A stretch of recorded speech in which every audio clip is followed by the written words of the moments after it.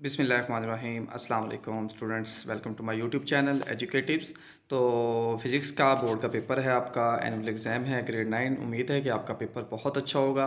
तो all important short questions मैं आपके साथ शेयर कर रहा हूँ। यहाँ पर आप देख सकते हैं कि define plasma physics and geophysics है। प्लाज्मा फिज़िक्स और जियो फिज़िक्स की तारीफ़ करें।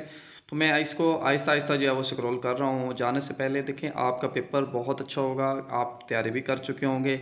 लेकिन काफ़ी ऐसे बच्चे भी हैं जो काफ़ी ज़्यादा जो है वो कन्फ्यूज़ होते हैं कि हमें किस तरह तैयारी करनी चाहिए। तो जाने से पहले अगर बंदा दो तीन घंटे भी इन क्वेश्चंस को सिर्फ़ रिवाइज कर ले। देखिए ऑब्जेक्टिव और शॉर्ट क्वेश्चंस आंसर जो है वो आपके अगर अच्छे हो जाए तो आपके जो है ना नंबर अच्छे बन जाते हैं।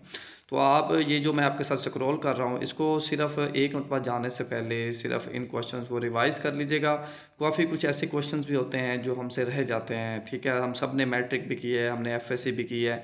तो ये तमाम क्वेश्चंस वो क्वेश्चंस होते हैं जो बार बार रिपीट हो रहे होते हैं। लेकिन हम इनमें से कुछ ऐसे क्वेश्चन होते हैं जो हमने तैयार किए होते हैं और कुछ ऐसे क्वेश्चन होते हैं जो हमसे जो है वो रह गए होते हैं। तो जाने से पहले एक बाद इस वीडियो में जो मैं क्वेश्चन आपके साथ शेयर कर रहा हूँ, इसको आपने याद कर लेना है, इसको देख लेना है और इन आपका पेपर बहुत अच्छा होगा।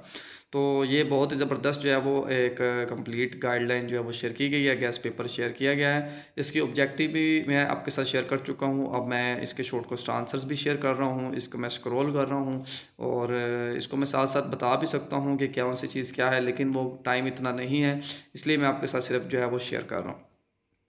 तो ये है ऑल इम्पोर्टेंट नोमेरिकल्स हैं, ये भी आप देख सकते हैं, इसके सारे के सारे और ये नोमेरिकल्स भी डिटेल आप देख सकते हैं। इसके देखेंगे, इसको मैं, ये एम्बिशियस अकेडमी एक लाहौर है, उन्होंने जो है वो पेपर शेयर किए हुए हैं और इस वक्त ये वायरल हैं। तो काफ़ी ऐसे स्टूडेंट्स हैं जिनको कोई पता ये ना मिले हों तो मैं उनके साथ जो है वो शेयर कर रहा हूँ।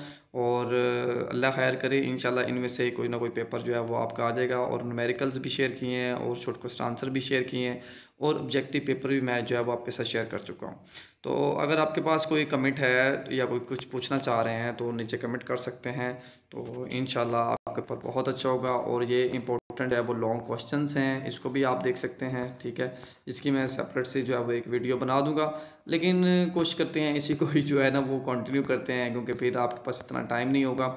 अब ये पेयर ए है chapter one number chapter number one है, फिर चैप्टर नंबर टू है, यहाँ पर आप देख सकते हैं, ये उसके इंपॉर्टेंट क्वेश्चंस हैं। ये जो येलो हुए हैं, इसका मतलब ये बहुत ही इंपॉर्टेंट क्वेश्चंस हैं। इसको आप जो है, वो हाईलाइट किया गया है, ताकि इसको आप अच्छे से जो है, वो चेक कर सकते हैं। फिर पेयर बी है चैप्टर नंबर फोर है, उसके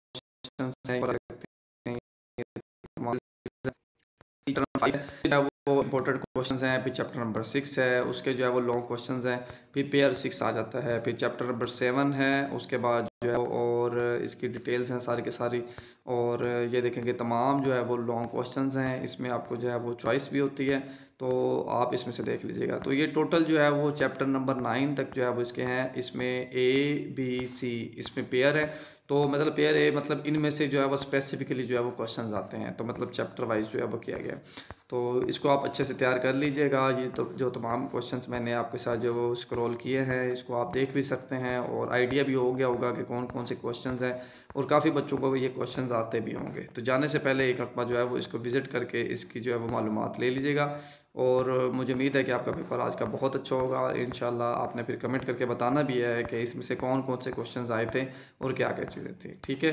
तो मिलते हैं एक न्यू के साथ। अपना बहुत सारा ख्याल रखिएगा और कमेंट में ज़रूर बताइएगा कि आपको किस तरह का पेपर चाहिए। फिर इन हम नेक्स्ट टाइम आपके साथ वही पेपर जो है वो शेयर करने की कोशिश करेंगे। तो अब तक के लिए मुझे इजाज़त दें। अल्लाह हाफिज़।